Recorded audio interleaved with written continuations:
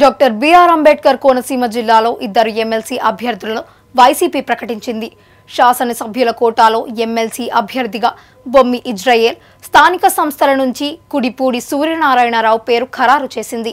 YCP రాష్ట్ర మాజీ కార్యదర్శి Madiga political JAC chairman Bommi ఇజ్రాయేల్కు శాసనసభ్యులు కోటాలో ఎమ్మెల్సీగా పోటీ చేస్తున్నారు. తాడేపల్లిలో ప్రభుత్వ సలహాదారుడు సజ్జల రామకృష్ణారెడ్డి ఎమ్మెల్సీ అభ్యర్థుల పేర్లు ప్రకటించారు. గ్రామ ఉప సర్పంచ్ నుంచి శాసన మండలి ఎమ్మెల్సీ అభ్యర్థిగా బొమ్మి ఇజ్రాయేల్ ఎదిగారు. మాదిగ దండోరా ఉద్యమ సమయం నుంచి యాక్టివ్గా రాజకీయాల్లో ఉన్న ఇజ్రాయేల్ అంబేద్కర్ ఆర్గనైజేషన్లోనూ పనిచేశారు. ఇజ్రాయేల్ స్వస్థలం అమలాపురం నియోజకవర్గంలోని అల్లవరం మండలం గోడి గ్రామం. గతంలో గోడి గ్రామ ఉప సర్పంచ్గా పనిచేసిన ఇజ్రాయేల్ వైసీపీ పార్టీలో పలు పదవుల్లో పనిచేశారు.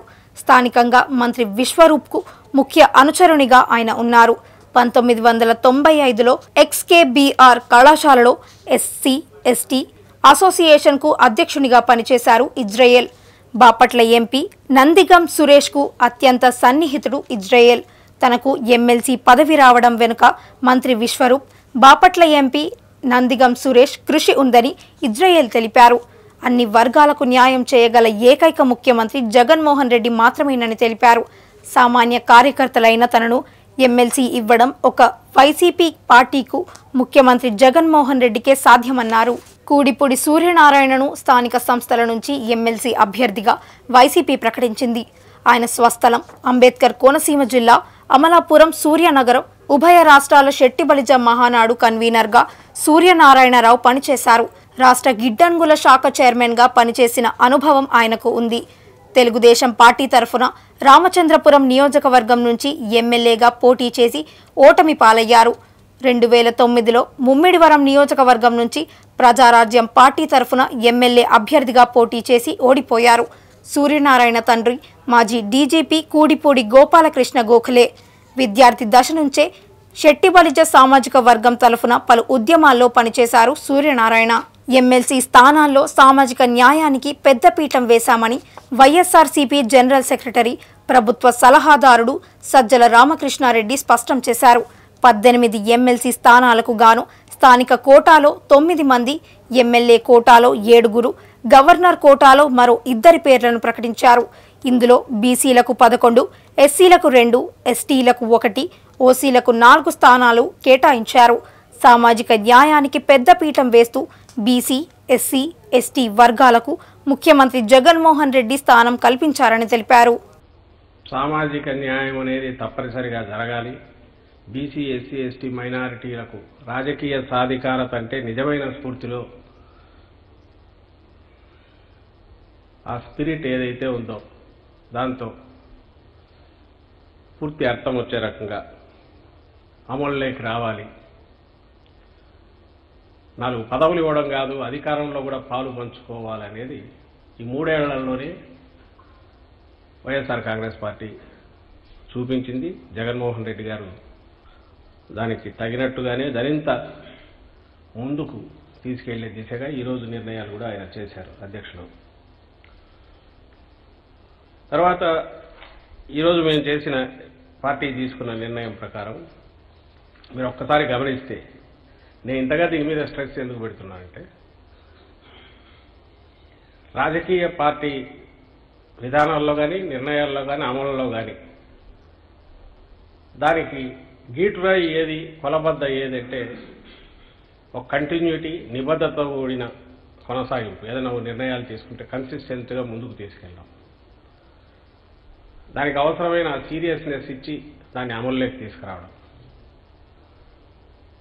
ఏదో ఎన్నికల సమయం వస్తే ఒకటి మాట్లాడే తర్వాత వదిలేయడం కాకుండా అన్నిట్లో దాన్ని ఎక్స్ప్రెషన్ అనేది తీసుకురావడం అనేది మా పాలన వైఎస్ఆర్ కాంగ్రెస్ పార్టీ వచ్చాక ఎప్పుడైతే అవకాశం వచ్చినప్పటి నుంచి అది మేము ఓపక్క చేస్తుంటే గతంలో ఏ రోజు కూడా వీటి గురించి వాడుకోవడం తప్ప బీసీల సంక్షేమం అన్నా బడుగు వర్గాల సంక్షేమం అన్నా లేదా వాళ్ళ అవసరమైన సాధికారత అన్న నినాదంగా పెట్టుకున్న తెలుగుదేశం పార్టీ.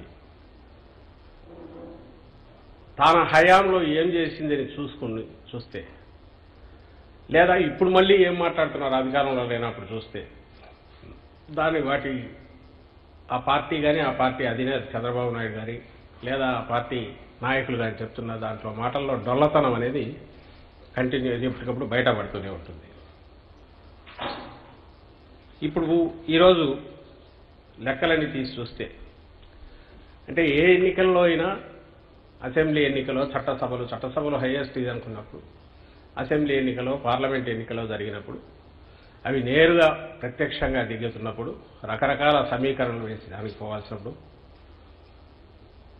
దానికి అవసరమైన నాయకులను తయారు చేసుకోవడము లేదా అవతల ప్రత్యర్థులను బట్టి ఇటు చూసుకోవాల్సి రావడము. ఎందుకంటే అల్టిమేట్గా ఏ పార్టీ అయినా అధికారంలోకి రావాల్సి ఉంటుంది కాబట్టి రావాలని అనుకుంటుంది కాబట్టి తన విధానాలు అమలు చేయడానికి. అనుకున్నంత మేరకు ఈ ఈ లక్ష్యాలు సాధించలేకపోయినా సాధికార దానికి దీటైనది ఉండేది శాసన మండలి రాజ్యసభ వస్తాయి. అక్కడ మనం ఏమాత్రం కమిట్మెంట్ చూపామనేది నిబద్ధత చూపామనేది ఎక్స్ప్రెస్ చేయడానికి అవకాశం ఉన్న ఏరియాస్ ఇక్కడ పెద్దల సభ అక్కడ పెద్దల సభ.